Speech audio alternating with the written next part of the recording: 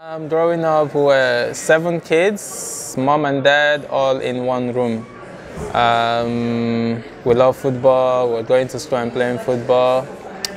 Dad didn't really support, but mom was always there to support us. Um, and uh, yeah, the breakthrough came for me when I went for trials for under 17. okay, one time. Um, we are going to. We had a, a, a match with uh, another town, so it's it's a game we didn't want to miss, but we had school the next day. So me and my brothers were walking, going to the game, and then my dad. We saw my dad drive past us, and signal stopped and signaled for us to go back home.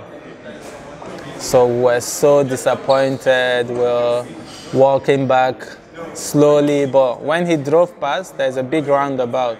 So when he drove past the roundabout, we turned back, we kept going because after the roundabout, there is a shortcut we can um, go into the bush and then find our way. But then we now saw him, We're on top the roundabout and we saw him coming back. So we all went, we were hiding, both my elder brother, my younger brother, we laid down on the roundabout waiting for him to pass. but we couldn't, we didn't see him going back. So we're thinking, where is he? Not knowing that he parked the car and was climbing up the roundabout. So, because it was a hill. So he came to the top and saw all of us laying on the floor. so, so he said to us, go home. Like we knew we were dead. We, we knew it. So he drove back and we just went home.